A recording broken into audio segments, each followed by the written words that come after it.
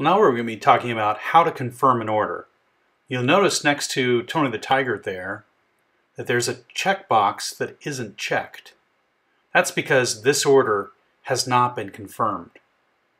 We would like to ask you that every order please get confirmed. You need to call the borrower and confirm a time and date of the signing with them. To do that, you just click on the order, and this will take you to the detail screen. It has various items about the order, such as the address and the home phone number, and you can just call or email the borrower right from here. Just click on the icon. And you can also scroll down to get more information. And then on the bottom of the screen, you'll see a button that says Update, Confirm, or Complete.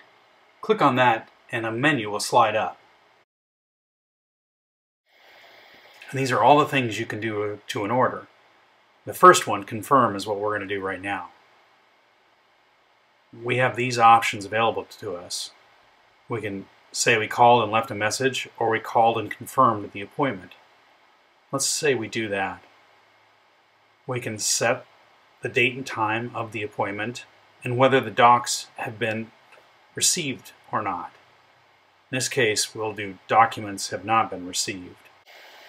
Well, once we save this, you'll notice that the checkbox next to Tony the Tiger now is checked. We have successfully confirmed the order. Please make sure all of your orders have check marks just like this.